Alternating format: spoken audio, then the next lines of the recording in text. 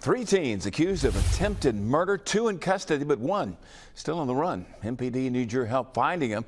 It's tonight's Fox 10 News Fugitive Files. This is 19-year-old Jimaurice Pierce. Pierce, along with 18-year-old Carmelo Dirks and 19-year-old Darius Rouser, went inside the I-65 East Service Road Walmart just days after Christmas. Investigators say that's when the trouble started got into an altercation at the checkout counter with another group of individuals. During that altercation, we had two individuals that were shot. We're looking for Jimaurice. We have been able to arrest the other two individuals that were involved in that incident on that night. However, Jimaurice, if you are watching this, you need to turn yourself in. Well, two bystanders were wounded in the gunfire. Now, according to Corporal Frazier, Pierce is currently out on bond, charged in a previous crime. She also told me investigators believe he is still in Mobile.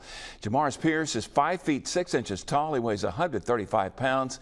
He is also charged with first degree assault and reckless endangerment with this particular crime.